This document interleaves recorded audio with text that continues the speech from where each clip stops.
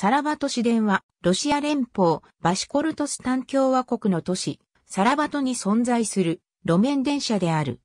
ソビエト連邦時代の1957年7月29日に開通したサラバト市内に路線を有する路面電車。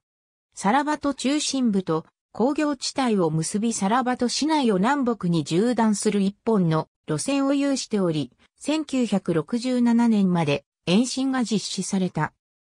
同年から1971年にかけては沿線に工場を有する18番複合工場とガラス技術工場の2社による運行が行われていたが、線路や施設、車両の保守に難が生じたことや、賃金の低さが課題となり、1971年から1974年にかけて、サラバト市の公営事業へ移管された経緯を持つ。2021年現在は、単一企業体のサラバト路面電車管理による運営が行われている。2021年時点で以下の4つの系統による運行が行われており、運賃は20ルーブルである。2021年現在、サラバト市電で使用されている営業用車両は以下の通りである。